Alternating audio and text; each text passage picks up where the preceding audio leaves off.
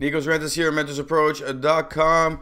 Uh, today's uh, email is all about self love. It's all about, you know, you've gotten to that place where you've fixed up yourself, you've lost weight, you've gotten your career, you're growing, you're ready to go.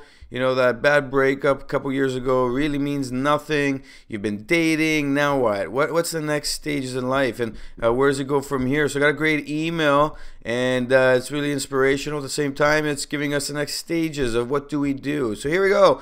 Hi, Nikos. I started watching your video about a year ago. Videos. I read your Instagram daily, and I love what and how you write. Thank you. I've, you know, in high school, my teacher said I sucked at writing, and uh, practice makes perfect, I guess.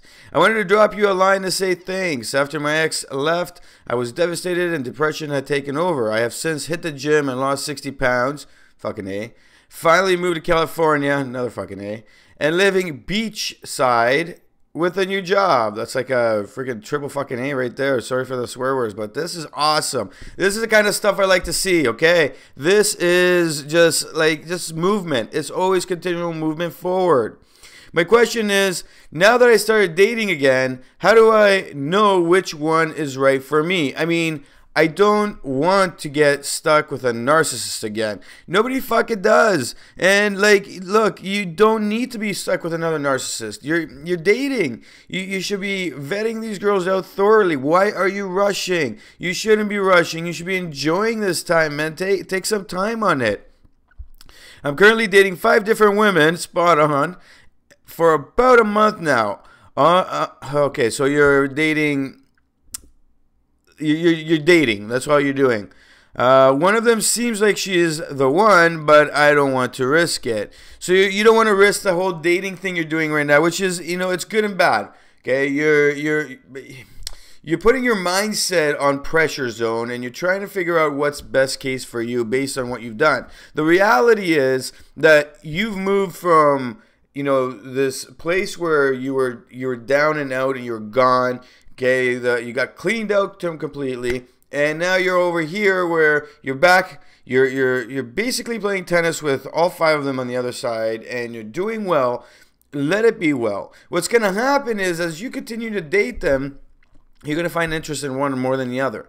Uh, the other girls will find more interest in you, and they're probably dating other guys. So they might find interest in the other guys. So depending on how you play your cards with the girls, they will either build up more attraction for you or decrease the attraction. Your focus, and from what it seems here, that you know your, your career is your focus, is, is your career. It's your body. It's making sure you're you're enjoying your life and doing something that's amazing. That is your focus. It's your purpose. Right now, at this moment, that's your purpose. So focus on it the women in your life will either build that attraction with you and you know they'll, they'll see that and you'll be you just need to be focused on the rules of the game you're doing well I, I see you've read my work and you've you've watched like a lot of my videos and posts so all you need to do is keep doing what you're doing.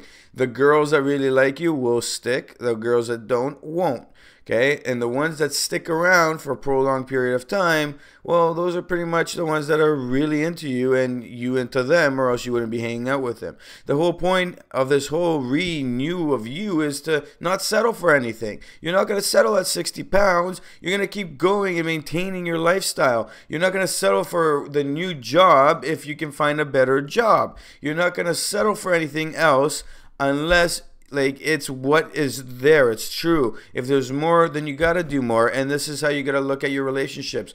Is she the one? Well what do you need to worry about right now? What you need to worry about is who's going to be sticking around with you through thick and thin and that is to say that as you continue dating you know the girls will come and tell you i want a commitment. Girls will say hey I want to be exclusive. Girls will say, hey, I like you, stop dating the other girls. And, and, it's that simple. And then you have the choice to say, yeah, I want to, or no, I don't want to. So take your time with that. Congrats on everything. This is awesome news. It's just great news. I love hearing these motivational, uh, you know, these motivational posts for me. That is what this is. And uh, if you want to be more specific in what's going on, if you want to really look at what's happening, we can go through uh, the scenarios that you have over the phone. Just book a coach call online at mentorsapproach.com. If anybody out there is having any kind of issues and would like to chat, please visit mentorsapproach.com and connect for a coach call. Please share this message with anybody who would find a value of it. And of course, please follow the page. Thank you. Nikos Rentas, mentorsapproach.com.